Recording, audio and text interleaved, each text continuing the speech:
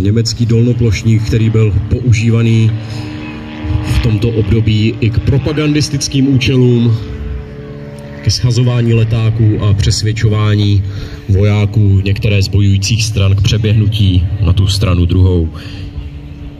Vojákům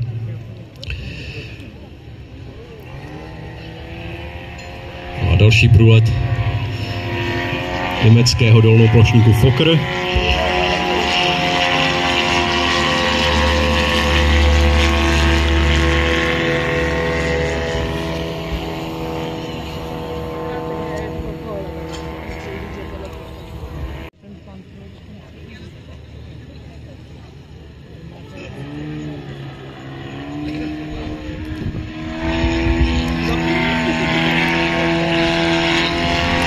Vojáci v přední a druhé linii zatím nevyvíjí žádnou činnost, aby zůstali skryti před možným pozorováním.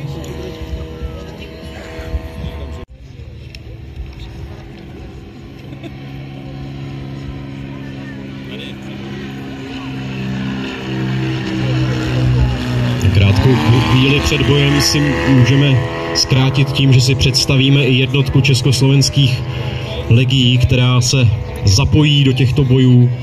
Jedná se o příslušníky úderného praporu československých legií v Rusku, který byl sformován na konci roku 1917 po vzoru podobných jednotek na bojištích první světové války. Prapor se původně skládal ze samostatných úderných rod při plucích druhé divize a později byl sloučen do samostatného oddílu. Jeho úkolem mělo být prolamování nepřátelských opevněných pozic. V realitě bojů občanské války v Rusku byl však nejčastěji nasazován na místa, kde se čekal tuhý odpor protivníka. Podmínkou k přijetí k údernému praporu byla dobrovolná přihláška, bezvadná fyzická kondice, svobodný stav a věk do 26 let. Tak jako i v jiných armádách, i v československých legiích v Rusku se stal odznakem úderníků smrti hlav.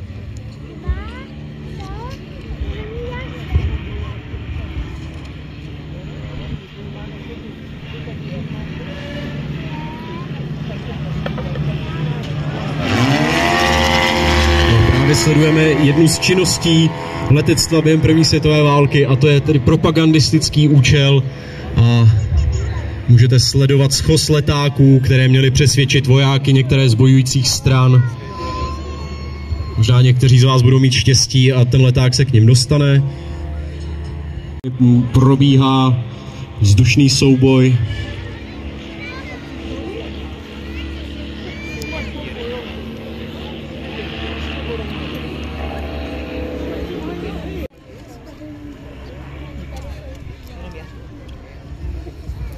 období první světové války bylo vůbec první epizodou, kdy letectvo začalo sehrávat významnější roli a kdy dochází i ke vzdušným střetům, které pak vygradovaly v letech druhé světové války.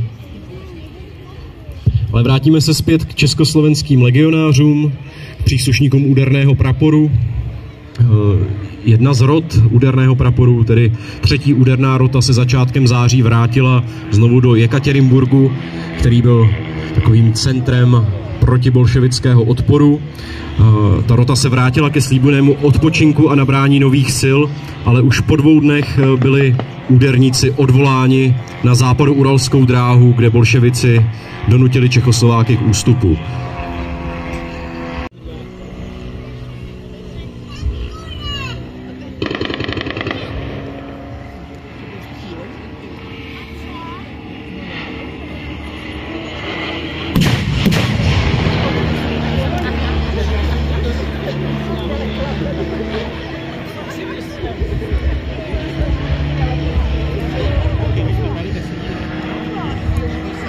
Kromě propagační činnosti a vzdušných soubojů samozřejmě mohly letouny během první světové války podporovat i jednotlivé bojující strany přímými útoky na pozice nepřátelských vojáků, jako jsme viděli před malou chvilkou.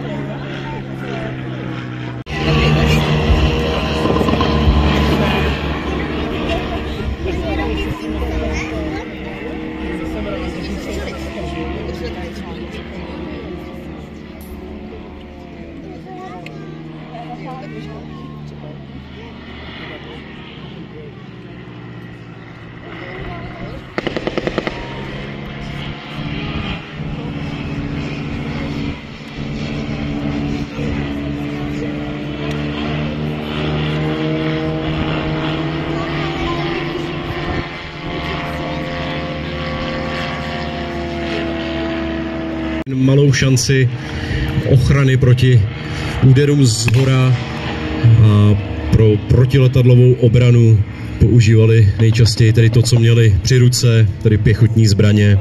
Tady vidíme pokusy o sestřelení nebo alespoň, uh, alespoň zastrašení letounů pomocí palby z pěchotních pušek. Vidíme, že jeden letoun je zasažený.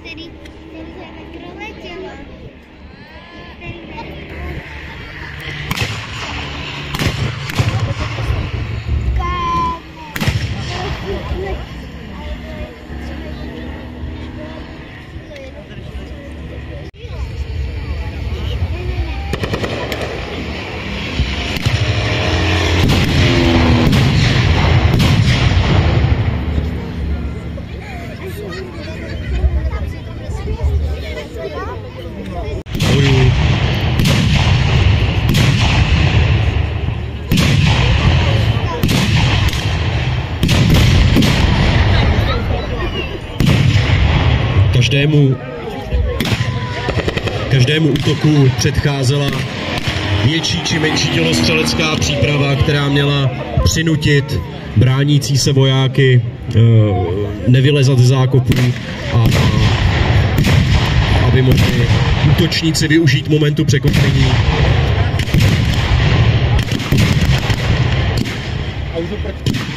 Sledujeme vojáky.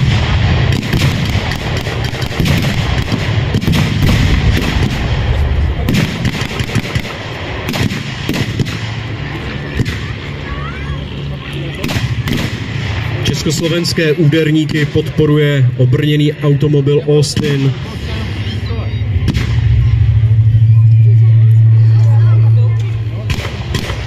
můžeme sledovat taktiku úderných jednotek, tak jak probíhala téměř ve všech armádách zapojených do první světové války.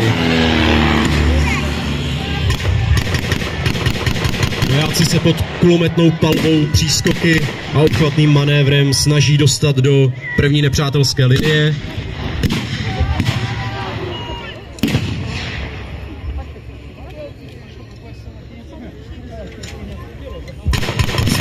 V roce 1918, takže hlavní výzbroj vojáků tvoří opakovací pušky a specific, specifikem úderných oddílů byly ruční granáty, které asi za malou chvíli uvidíme v akci.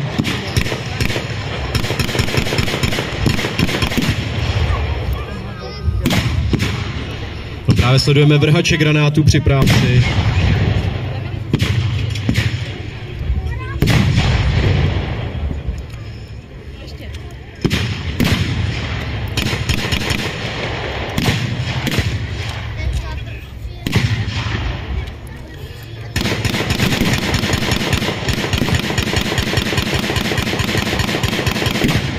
Sledujeme práci dvou úderných družstev, kdy jedno kryje druhé pomocí přískoků se přibližují k první linii.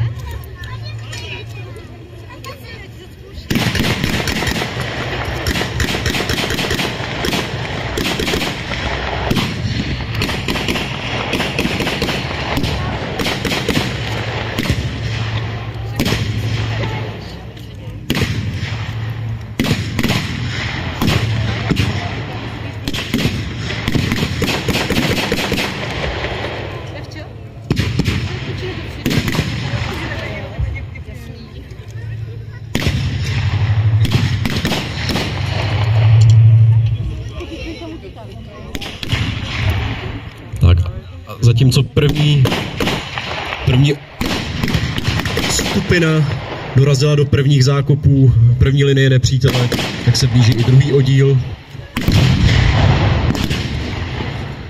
Stále je patrná dělostřelecká palba ze strany rudých. Jejich šputilovský kanon představuje jednu z hlavních, eh, z hlavních rizik a hlavní oporu, oporu továrny.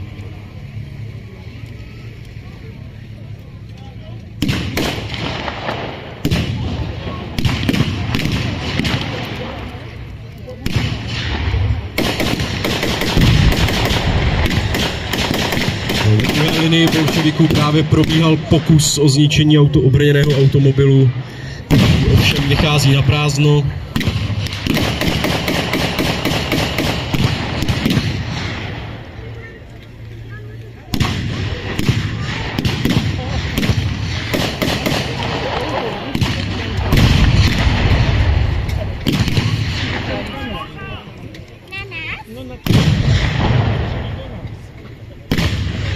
Nyní máte možnost vidět skutečnou realitu zákopových bojů, kdy pro všudy přítomný kouř a prach nebylo téměř vidět na několik metrů nebo na několik kroků.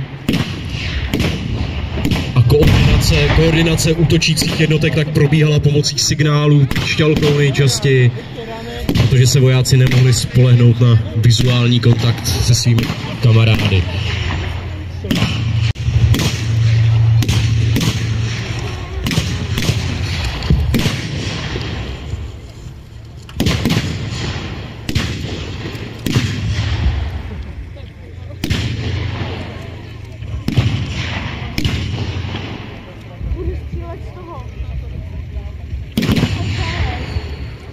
Už jsme si představili tu československou stranu úderný prapor a nyní ta druhá strana. Eh, jednalo se tedy o převážně maďarské a německé komunisty, malé zajatce, kteří se svou houževnatostí značně odlišovali od bolševiků ruských a dávali zřetelně najevo svou nenávist vůči všemu slovanskému.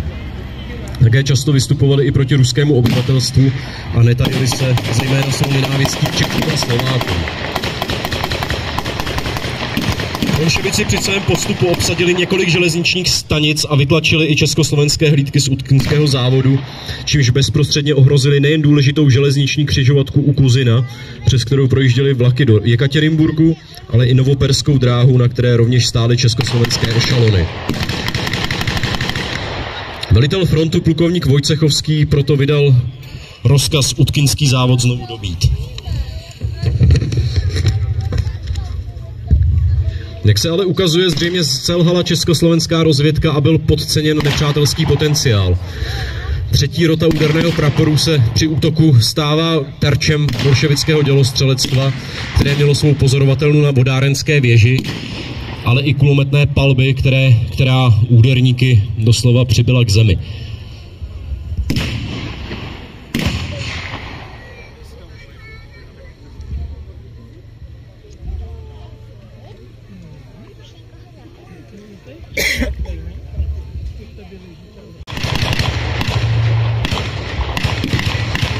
A opět za podpory obrněného automobilu Austin se přibližují českoslovenští vojáci k druhé pozici bolševiků.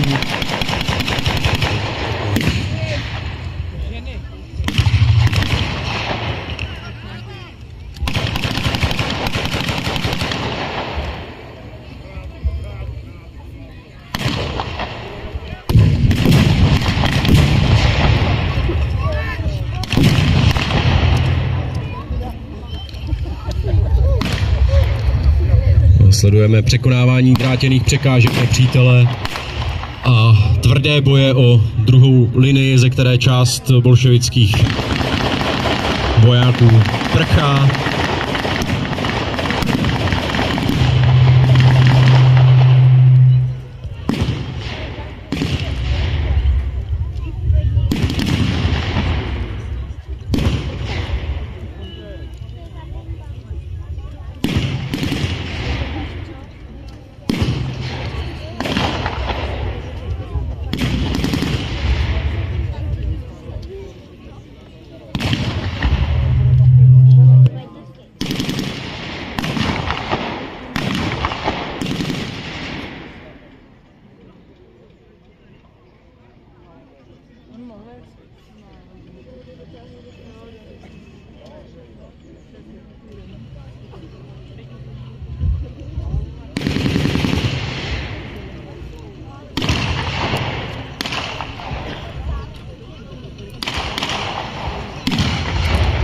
Bolševici se stále snaží tlačit na postupující úderníky československého úderného praporu.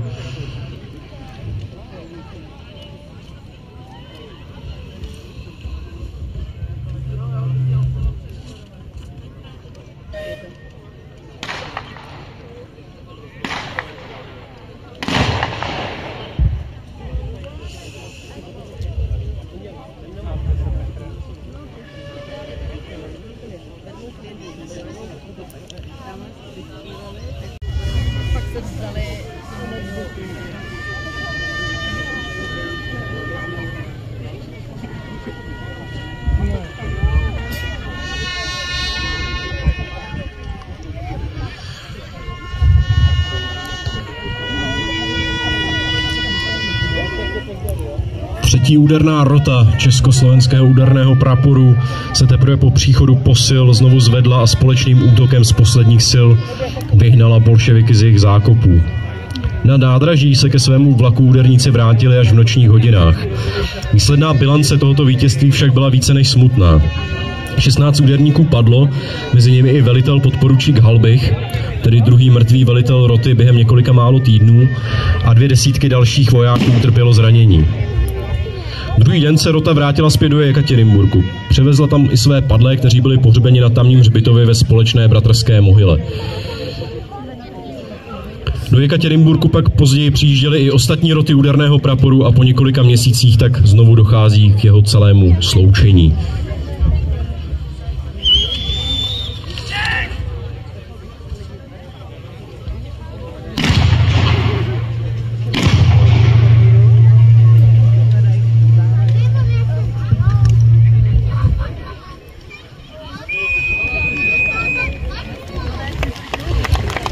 Myslím, že patří obrovský dík nás všech účastníkům bojové ukázky na obou stranách za jejich obrovské nasazení a perfektní organizaci.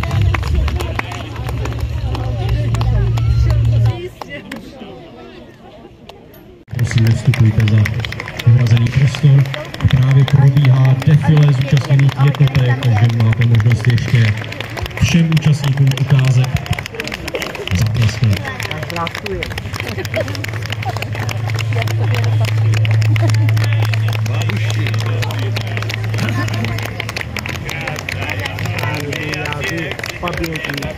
Vojáci třetí úderné roty Československého úderného praporu Československých legí v Rusku